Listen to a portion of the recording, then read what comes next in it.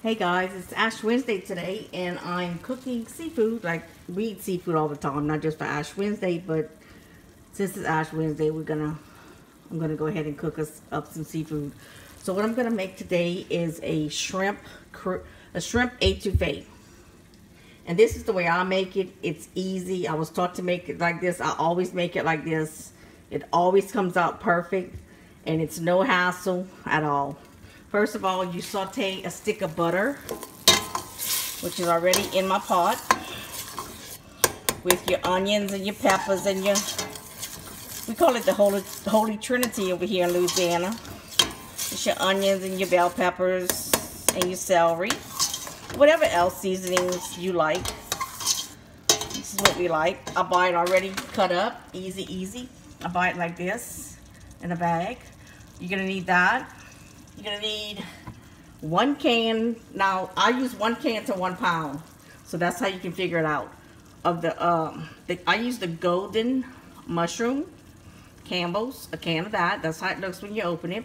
Of course, my staple Tony seasoning, and I have a pound of um, shrimp already cleaned, deveined. I bought it like this from my local store, Bilo. So, uh, and it's fresh. And you can put crawfish, you can put crab, you can put whatever you want in it. Today's shrimp for us. Uh, everybody loves crawfish etouffee, but we love shrimp a lot. So whatever I have on hand, that's what I'm going to cook. So I'm going to saute these onions, and they're almost ready to add the shrimp too. Just want to let it get, smells so good.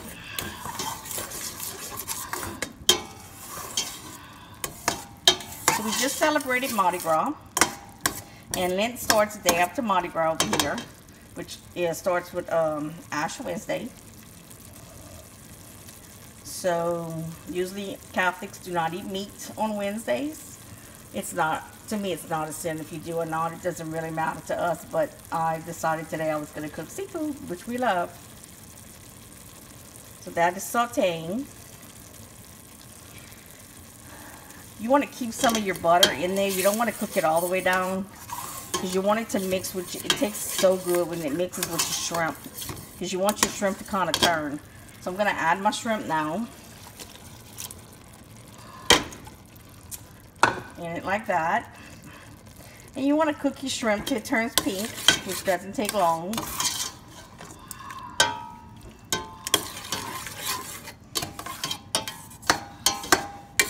Some of them are deveined, some of them are so little. Doesn't bother us. So I'm going to cook this with some rice. Put over some rice, of course, is our staple here in Louisiana. But you can use cornbread. You can put it on cornbread. You can put it on a baked potato. Whatever you like like that. I'm going to let that saute a while.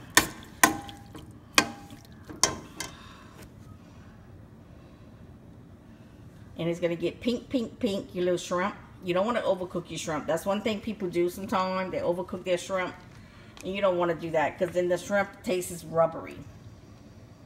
And you want to have that good taste of it, you know. So yeah, this is what I'm cooking today. So like I said, I'm going to let that heat back up with the butter. I'm going to saute that just till your shrimp starts curling up and turning. It doesn't take long. And I'll come right back and show you when I add my golden mushroom to that and what it looks like.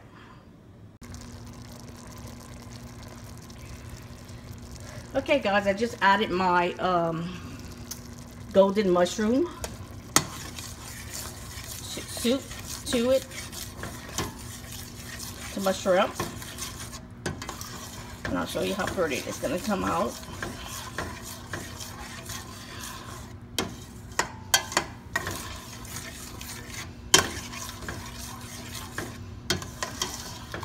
This takes about a, this is like 30 minute meal. Easy because you, you, your shrimp are already cooked because they've been sauteing and your um, your soup's cooked. I'm going to add a can of water that would add it to the soup.